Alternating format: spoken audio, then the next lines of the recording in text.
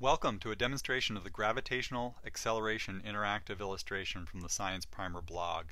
The illustration explores the relationship between the distance traveled and velocity of objects under different rates of constant acceleration.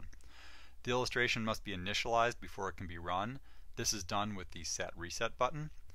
The speed the illustration will run is a function of the processing power of the computer it is running on. On new computers it may run quite fast. If this is a problem, the speed controller across the top can be used to slow it down. Once initialized, the model will drop balls from 10,000 meters in different gravitational environments. The two sliders immediately below the set reset button allow the gravity on the left and right half of the main window to be varied independently. Dropping the balls is done by clicking the drop button. The switches below the drop button toggle on and off reporters that show time, distance, and velocity information.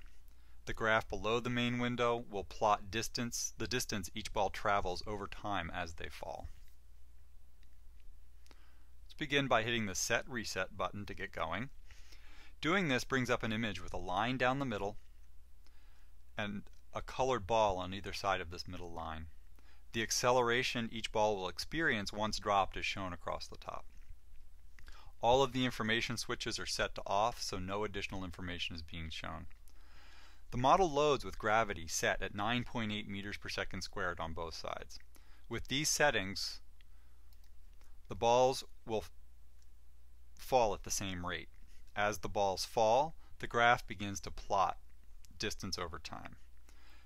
Note, the time shown is model time, not real time, and the actual rate the balls fall will vary from computer to computer.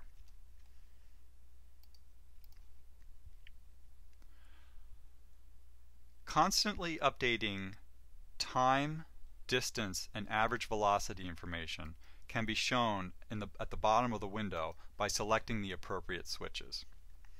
These switches respond immediately while the balls are falling and can be toggled on and off afterwards by tapping the drop button.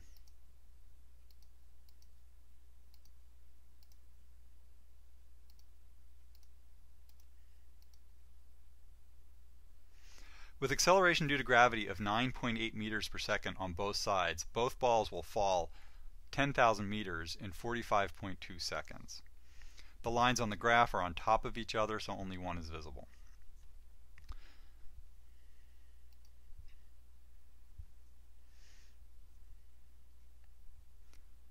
Varying gravity will cause the balls to drop at different rates.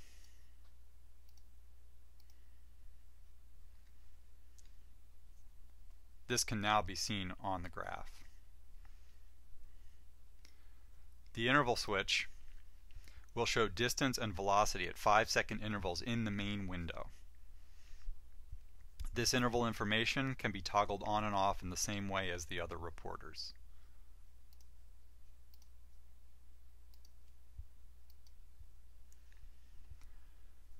This completes the demonstration. Thank you for watching and enjoy the illustration.